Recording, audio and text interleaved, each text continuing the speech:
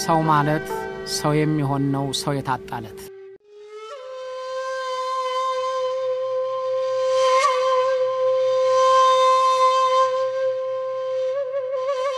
ከሰባ አንድ ዓመታት በፊት በነሐሴ ወር ዓለም አንገቷን አንቆ ከሚያንፈራፍራት የጥፋት ጦርነት የተገላገለችበት ወር በመሆኑ በደስታ ትዘክረዋለች።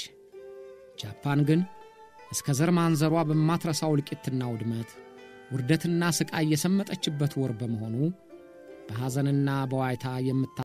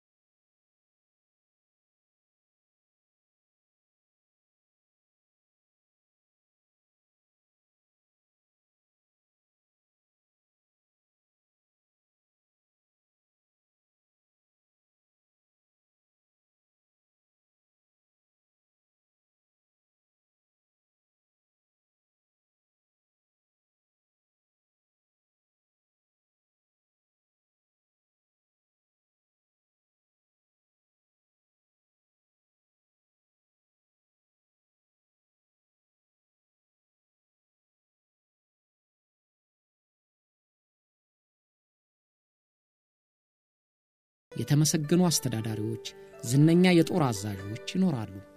በሁለተኛው የዓለም ጦርነት ምንም እንኳ መጨረሻው ባያምርለት እንደ ጀርመኑ ፊልድ ማርሻል ሮሜል ከአሸናፊዎቹም ከእንግሊዝ እነ ፊልድ ማርሻል ሞንቲጎመሪ፣ ከፈረንሳይ እነ ጀኔራል ደጎል፣ ከሶቪየት ኅብረት እነ ማርሻል ዙኮቭ፣ ከአሜሪካ እነ ጀኔራል ማካርተር በጦር መላ አዋቂነታቸው እስከ ዛሬም በክብር ይታወሳሉ። በጃፓንም የባሕር ኃይል አዛዧ አድሚራል አኒሾ በጭንቅ ጊዜዋ የጦር ሚኒስትሯ የነበረው ጀኔራል አናሚ እና ሌሎችም ጀግኖች ዛሬም ቢሆን በጠላቶቻቸው ጭምር በክብር ይታወሳሉ። ጀኔራል አናሚ በሚችልበት ጊዜ ድል አደረገ። ባልቻለበት ጊዜ ለጠላቶቹ የሳለውን ሰይፍ ለራሱ አደረገው። ጃፓን በቀውጢ ቀኗ ሰው በጠፋበት ወቅት ሰው የሆነላት ጀኔራል አናሚ ራሱን ሰጣት።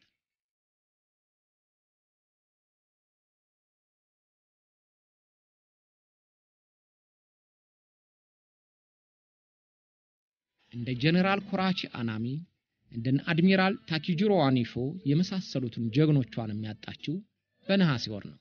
ስለዚህ የነሐሴን ወር ላለፉት 66 ዓመታት በሐዘን የትዝታ በትር እየተቀጠቀጠች አክብረዋለች። አሁን አሁንማ ከዚያን ጊዜ ጠላቶቿ ጋር ወዳጅ ሆና የሰቆቃ ቀናቷን አብራ ታከብራለች። ባለፈው ሳምንት በናጋሳኪ የተከበረውን የሰቆቃ መታሰቢያዋን የአቶሚክ ቦምቡን ጥላ ያወደመቻት አሜሪካም ልዑካን ልካ አስተዛዝናታለች። ከመቅደም ይሻላል ማስቀደም፣ ገላጋይ አያጣም ከኋላ ያለ ደም የሚለው የሀገራችን የሸላይ ግጥም ለዚህ አይነቱ ምሳሌ ሊስማማ ይችላል።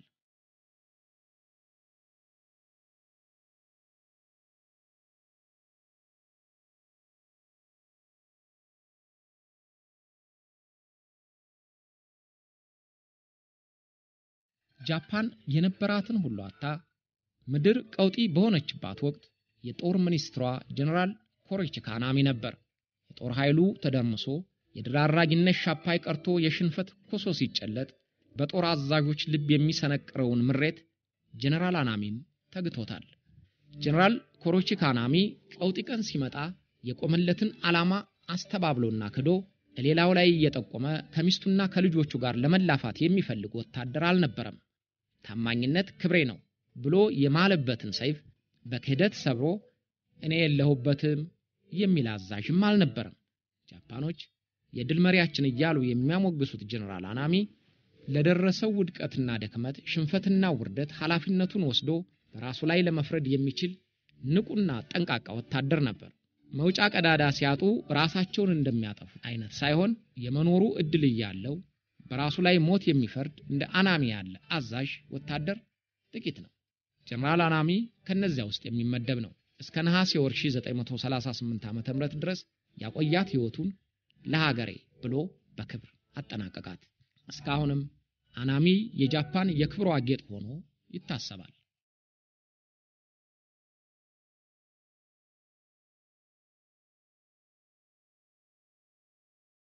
ጀነራል ኮሮቺካ ናሚ የተወለደው ታኪታ በምትባል የጃፓን ከተማ ነው።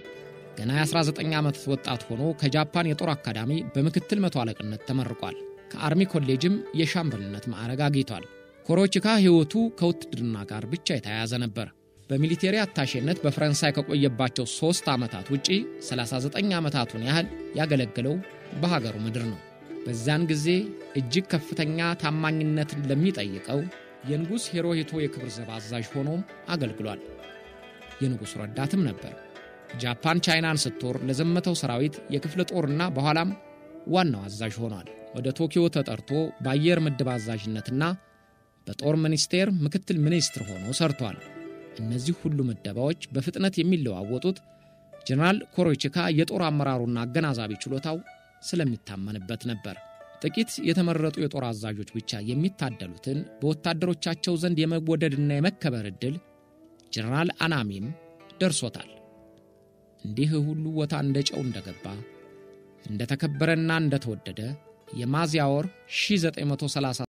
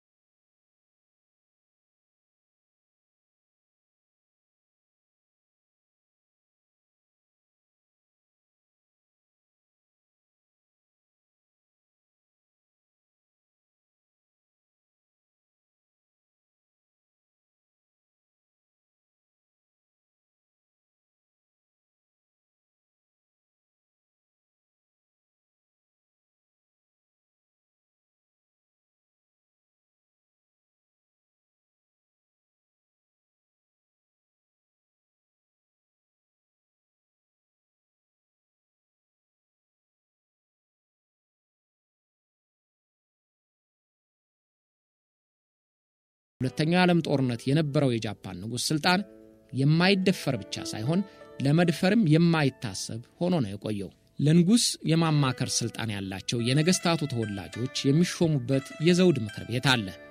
ምክራቸው ይሰማል። ንጉሡንም የሚያርሙት እነሱ ናቸው። ዋናና ጠቅላላ ሥራው በሚኒስትሮች ምክር ቤት ይከናወናል።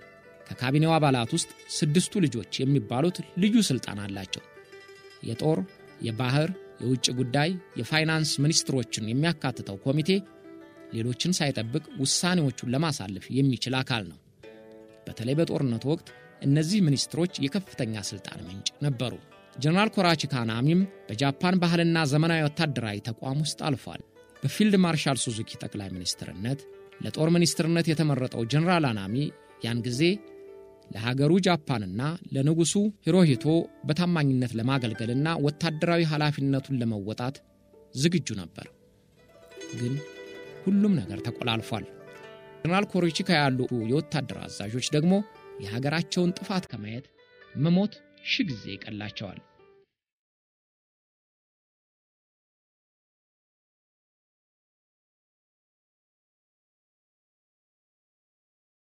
ጃፓኖች በጦርነት ወቅት እጅግ የሚያስደንቅ የተዋጊነት መንፈስና ጀብድ እንዳላቸው የአሜሪካ የእስያና የፓስፊክ ጦር አዛዥ የነበረው ጀኔራል ማካርተር መስክሮላቸዋል። ሞትን የሚንቁ ድልና ጀብዱን የሚያጋንኑ ናቸው ይባላሉ። አሜሪካኖች ጃፓኖችን በቅጡ ያውቋቸዋል። አንድ ሰዓት ባልሞላ ጊዜ ውስጥ ሦስት ሺህ የባሕር ኃይሎቻቸውን አባላት የገደሉባቸውን፣ የጦር መርከቦቻቸውን ያወደሙባቸውን የፐርል ሃርበር ጥቃት የፈጸሙትን ጃፓኖች ፈጽሞ ሊረሷቸው አይችሉም። ያ ጊዜ አልፎ ኮራችኮ የጦር ሚኒስትር ሆኖ ሲሾም ድሉ ሁሉ ወደ ሽንፈት እየተለወጠ ነበር።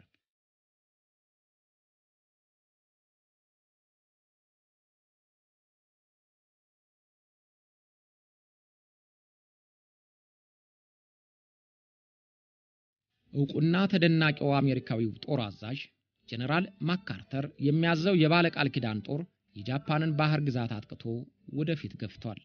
የቻይና ኮሚኒስቶችና ብሔራዊ ተዋጊዎች ከባለ ቃል ኪዳን ሀገሮች በሚያገኙት የጦር ትጥቅ እየታገዙና እየተደራጁ የጃፓንን ጦር እየቆራረጡ ደምስሰውታል። በሐምሌ ወር መጀመሪያ በቻይና፣ በሲንጋፖር፣ በፊሊፒንስ ያለው የጃፓን ጦር ከዋናው የቶኪዮ የዝ መደቡ ተቋርጧል። የነሐሴ ወር ሲገባ ጃፓን በከባድ ጦርነት ውስጥ ነበረች። አልቻለችም። ስለዚህ እጇን እንድትሰጥ ተጠየቀች። ለጃፓን ተዋጊ ወታደሮችና አዛዦች እጅ መስጠት የሚባለው ሐሳብ መነሳቱ የሚያንገሸግሻቸው ነበር። ተዋግተን ቢያንስ አስተማማኝ ድል ካላገኘን በስተቀር አንደራደርም አሉ። እንደዚያ የሽንፈት ጫና እያንገዳገዳቸው እንኳን ንጉሡ በዙፋን ላይ እንዲቆይ ማንኛውም የህብረቱ ጦር የጃፓንን ምድር እንዳይረግጥ፣ ጃፓን ትጥቋን የምትፈታው በራሷ እንዲሆን፣ የጦር ወንጀለኞቿን ክስ የምታየው ጃፓን እንድትሆን የሚል መደራደሪያ ሐሳብ አቀረቡ። ይህን የተሸናፊዋ የጃፓን ፍላጎት የኃይል ሚዛኑን የሚቆጣጠረው የባለቃል ኪዳኑ ጦር የሚቀበለው አልነበረም። ስለዚህ ጃፓን ያለምንም ድርድር እጇን እንድትሰጥ የፖትስዳሙ ስምምነት ጸደቀ። በፈረንጆቹ አቆጣጠር በነሐሴ መባቻ ሂሮሺማ፣ በሦስተኛው ቀን ደግሞ ናጋሳኪ በአቶሚክ ቦምብ ጠፉ። አሜሪካ በዚያም አልበቃትም። ጃፓን እጇን እስካልሰጠች ድረስ ሌሎቹንም ከተሞች በአቶሚክ ቦምብ ተራ በተራ እንደምትደበድብ ዝታለች። የጃፓን የጦር ሹማምንት ከአስጨናቂ ጥያቄ ጋር ተፋጠጡ፣ ግን እምቢ አሉ። እጃችንን ከመስጠት ሞት እንመርጣለን የሚሉት በዙ።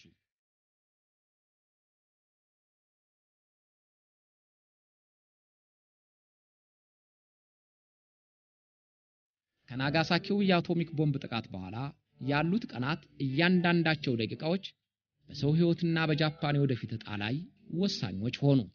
ንጉሥ ሂሮሂቶ ጃፓንን ለማዳን እጅ መስጠት ብቸኛ አማራጭ መሆኑን አምኖበታል።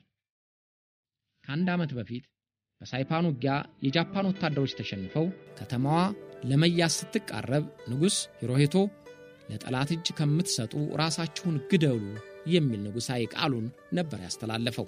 እንደ አማልክት የሚያየው አስር ሺህ የሚሆነው ሕዝብ ቃሉን ሰምቶ አሜሪካኖችን ላለማየት በተለያየ መንገድ ራሱን አጥፍቷል።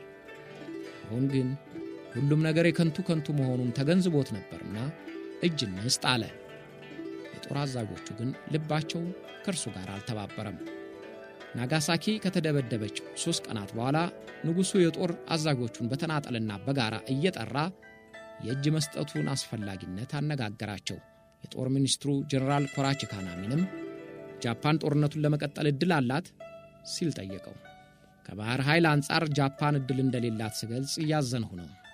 ነገር ግን በጃፓን ምድር ጦርነቱን እንድቀጥል ከተፈቀደልኝ ሁኔታውን ልገለብጠው እችላለሁ ሲል መለሰ።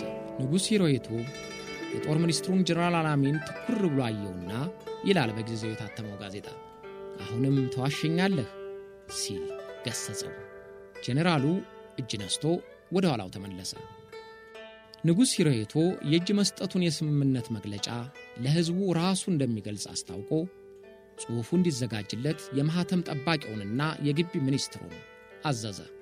መቼም የጃፓን ንጉሥ ቃል የማይሰበርና የማይሰነጠር ነውና ጄኔራሎቹ ምንም የማይወዱት ቢሆን ተቀበሉት። ታላላቅ ምስጢሮችንም እንዲያጠፉ ትእዛዝ ተሰጠ።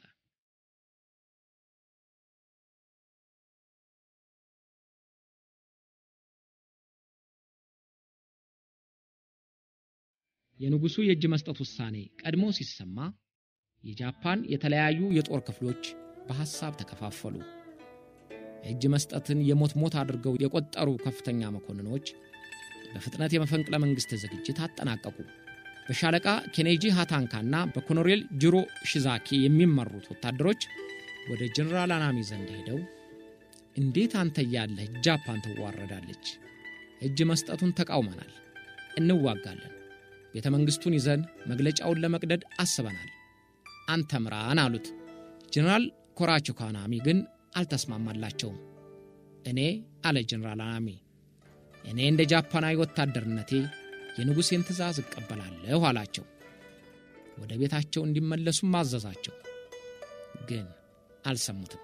ልቡ ለአመፅ የተዘጋጀ እንኳን አለቃው የፈጠረውን ቃል ለመስማት አይፈልግም። ስለዚህ አማጽያኑ የክብር ዘቡን አዛዥ ገድለው በእርሱ ማኅተም ለጥበቃ የተመደቡ መስለው ቤተ መንግሥቱን ተቆጣጠሩ። ወዲያው ጠባቂዎቹን ትጥቅ አስፈትተው መግቢያ በሮቹን ዘግተው የመገናኛ መሳሪያዎችን ሁሉ አቋርጠው ተቆጣጠሩት። ተቆጣጠሩት ስለተባለ ግን ንጉሡን እንያዝ ወይንም እናዋርድ አለያም እንዳፈር አላሉም።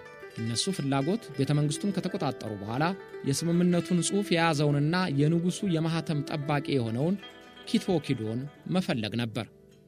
ኪቶ ኪዶን መፈለግ ጀመሩ። በማያውቁት ቤተ መንግሥት ቢወጡ ቢገቡ፣ ጓዳ ጎድጓዳውን ሁሉ ቢፈልጉ ሊያገኙት አልቻሉም። ለንጉሡ እስከ ሞቱ ታማኝ የሆነው የማኅተም ጠባቂው ኪቶ ኪዶ ግን በቤተ መንግሥቱ በምድር ቤቱ በሚገኝ ሰዋራ ቦታ ተደብቋል። የተወሰኑት ወታደሮች ጠቅላይ ሚኒስትሩ ማርሻል ሱዚክን ለመግደል ሄዱ። ግን ስላላገኙት ቢሮውንና ቤቱን አቃጠሉ። አማጺ ወታደሮቹ ከዚያ በላይ ምንም ሊያደርጉ ሳይችሉ ቀሩ። ሲነጋ ከምሥራቅ እዝ ወታደሮች ውስጥ ንጉሡን ለመርዳት ወደ ቤተ መንግሥት እየገሰገሱ መሆኑ ሲሰማ ሃታናካ ወታደሮቹን አሰጥቶ ወደ ብሔራዊ ሬዲዮ ጣቢያው ሄደ። ሽጉጡን በጋዜጠኞቹ ላይ መዞ ዓላማውን ለመግለጽ አስር ደቂቃ ያህል የአየር ሰዓት እንዲሰጡት አስገደደ። ግን ቀድሞ ተባባሪው ነበር የተባለው ኮሎኔል ጦሩ ዓላማውን እንዳልደገፈው ነግሮ ስቱዲዮውን እንዲ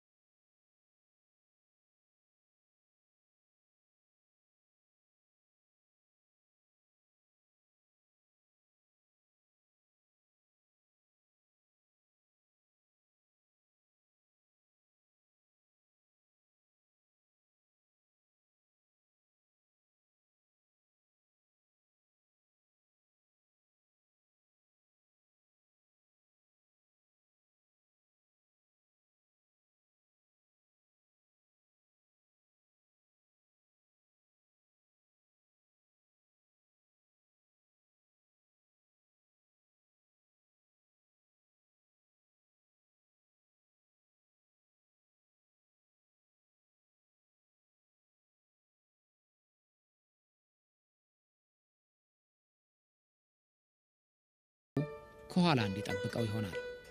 የጠባቂው ተግባር ራሱን የሚገድለው ሰው ቶሎ ያልሞተ እንደሆነ ስቃይ እንዳይበዛበት አንገቱን በጥሶ መጣል ነው። ጩቤውን ወይም ሰይፉን ከፊቱ ያነሳና በሆዱ ፊት ለፊት እስከ ጀርባው አጥንት እስኪዘልቅ ድረስ በኃይል ሰቅስቆ ይከተዋል። ወደ ግራና ወደ ቀኝም በስለቱ እያማሰለ ማበራየት አለበት። ይህን ሁሉ ካደረገ በኋላ ቶሎ ያልሞተ እንደሆነ ነው ረዳቱ አንገቱን የሚጎምድለት። ይህ የሴፒኩ ልማድ እንዲቀር ከ1880ዎቹ መጨረሻ ጀምሮ በሕግ የተደነገገ ቢሆንም ጀግኖች ነን የሚሉት ጃፓናውያን አሟሟቴን በሴፒኩ አድርግልኝ ማለታቸውን አልተዉትም። ከሰባት ሚሊዮን በላይ የጦር ሠራዊት የሚያዘው ጀኔራል ኮሮች ካናሚም ይህንኑ ልማድ ሲከተል ልንሰማ ነው።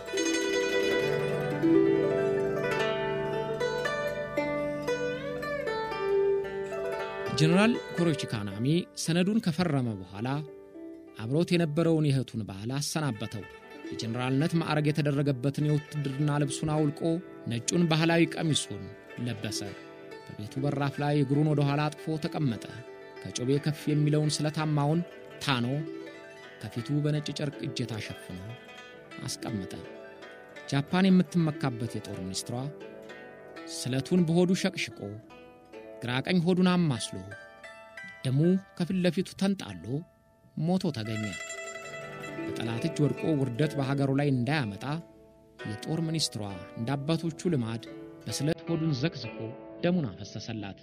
የጃፓን ወታደሮችም የሚያከብሩትን ጄኔራላቸውን አጡት።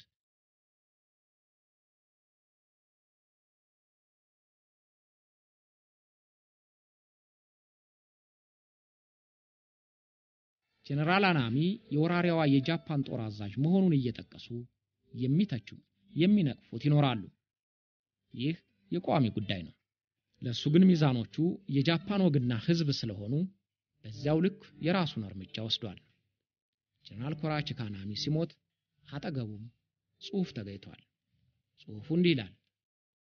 በምሞትበትም ወቅት ለሠራሁት ታላቅ ወንጀል ንጉሡን ከከፍተኛ ትሕትና ጋር ይቅርታ ጠይቃለሁ። የጽሑፉ ይዘት የታሪክ ተመራማሪዎቹን አከራክሯል።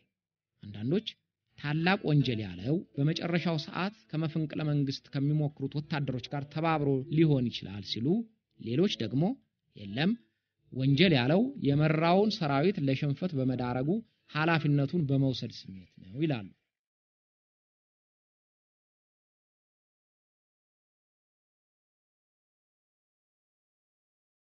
ጀነራል ኮራቺካ ራሱን በገደለ በማግስቱ የእጅ መስጠቱ ውሳኔ በንጉሥ ሄሮሂቶ በቀጥታ በሬዲዮ ተሰራጨ።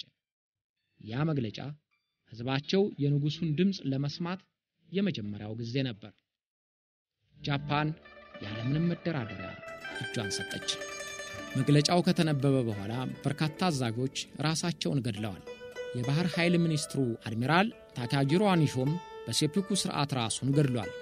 በኑዛዜውም ላይ በዙ ስር ሆነው ሕይወታቸውን መሥዋዕት ያደረጉትን የአራት ሺህ አብራሪዎች ቤተሰቦች ይቅርታ ጠይቋል።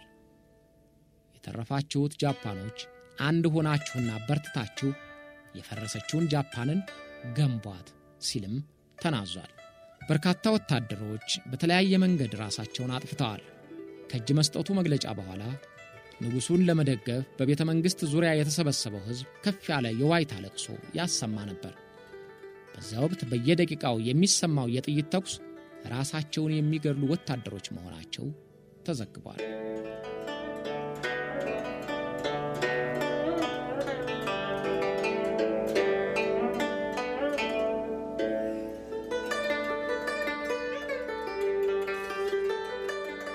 የጦርነቱ ውጤት የባለቃል ኪዳኑ ጦር ጃፓንን እንዲቆጣጠር አደረገው።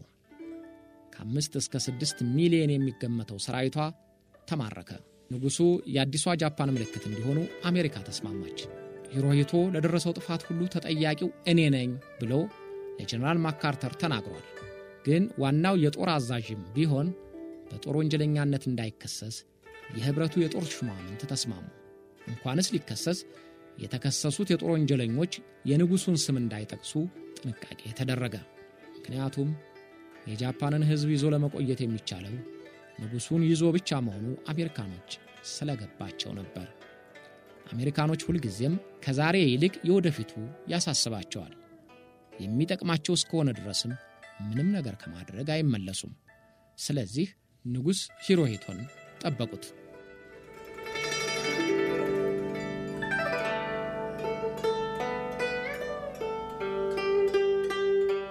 የጀነራል ኮሬቺ ካናማ ቀብር ቶኪዮ ውስጥ በታማሬን የቀብር ስፍራ ለሕዝብ ይታያል። እዛው ቶኪዮ ውስጥ በሚገኘው ዩሽካን ሙዚየም ራሱን የገደለበት ሰይፍ፣ ደም የበከለው ነጩ ቀሚሱና የጻፈው ማስታወሻ ለሕዝብ ይታያል። መቼም ጃፓኖች ከቀድሞዋ ጃፓን የተላለፈላቸውን ለመጠበቅ የታደሉ ናቸው። ጀግኖቻቸውንም ታሪካቸውንም ሐዘንና ደስታቸውንም ነሐሴንም ጭምር ማስታወሳቸውን ቀጥለዋል።